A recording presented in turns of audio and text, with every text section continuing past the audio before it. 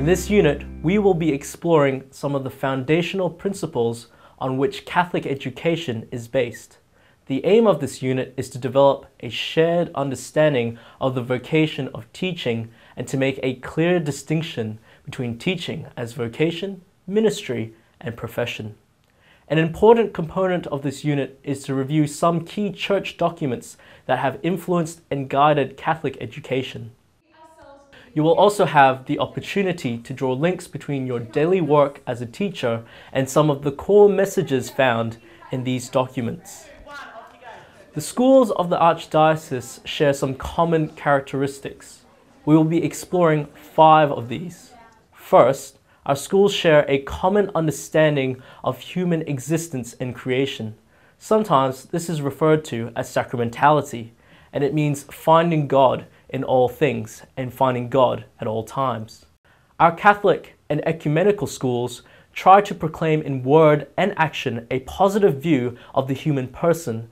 Central to church social teaching is the belief that all human beings are made in God's own image and likeness. The daily life of the Catholic school is characterized by a strong sense of communion and community.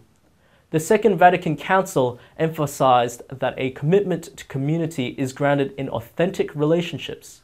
Catholic schools are called to be places marked by love, inclusion, and justice.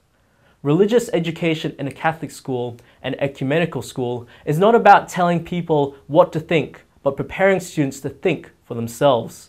Sometimes we describe this as faith seeking understanding. There is a focus on rationality and rigor where religion is viewed as part of the enterprise of learning and not separate from it. All who work in Catholic education are called to share a common vision and be living witnesses to the Christian story that the vision embodies. The Catholic school seeks to form, inform, and transform students who they are and how they live with meaning and sensitivity. So, by the end of this unit, you will have had the opportunity to explore the uniqueness of Catholic education and in particular your role as a teacher within the Archdiocese of Brisbane. Examine some of the church documents that guide Catholic education and reflect on the characteristics of Catholic education and what they might mean for your vocation as a teacher. Enjoy the unit.